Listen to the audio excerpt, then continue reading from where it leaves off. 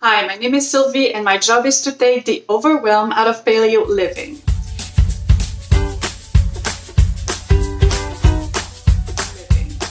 Today we're going to be talking about making non-dairy milk and I'll be showing you how I make my three favorite non-dairy milk. I'm sure you've heard of almond milk. This is probably the most commonly used non-dairy milk. I personally buy my almond milk uh, because I do not want to be making nut milks that will require me to strain anything out. Plus, uh, almond milk is so easy to find in stores. Um, I just buy it. I realize that the ingredients are not perfectly clean, and if you are ultra sensitive and you have to be really careful with your diet, you might want to try um, these other options that I'll be sharing with you today and not even buy any nut milk at all. But in a pinch, I'm going to show you what I do for my nut milks. They are super easy, delicious, affordable, and they don't require any straining. Okay, so let me show you. First, sunflower seed milk. Have you ever heard of making sunflower seed milk? I hadn't until pretty recently, and I love it. Next, cashew milk. Cashew milk is creamy and really satisfying. Some people recommend that you soak your cashew nuts, but if you have a high powered blender, you will not need to soak them. Trust me on that. I've tried it both ways.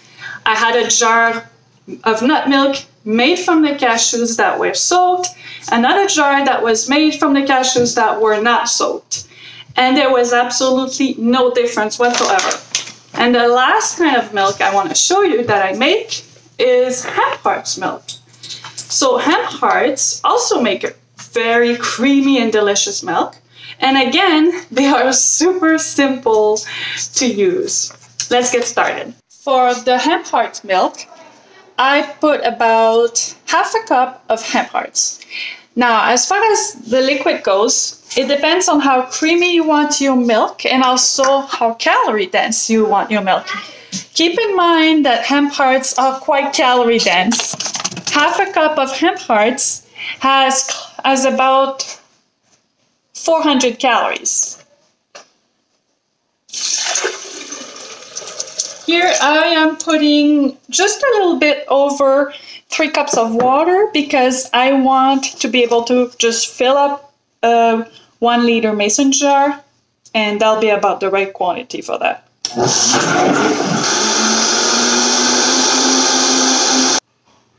Okay, so now the milk is quite foamy. It might need to rest a bit before I uh, pour it all in the jar. Let's see. Yeah. There you go. Look at all the goodness.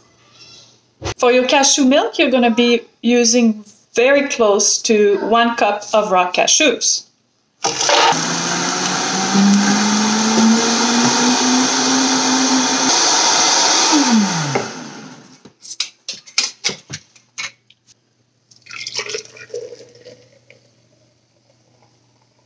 So creamy. Can you see how creamy that is?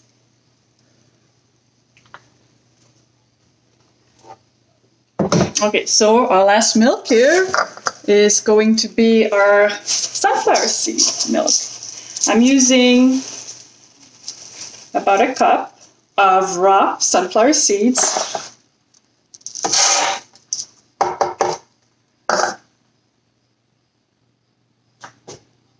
A little bit over three cups of water.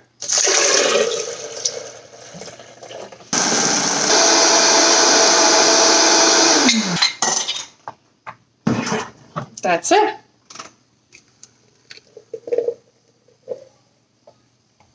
Here's your sunflower milk. Mm.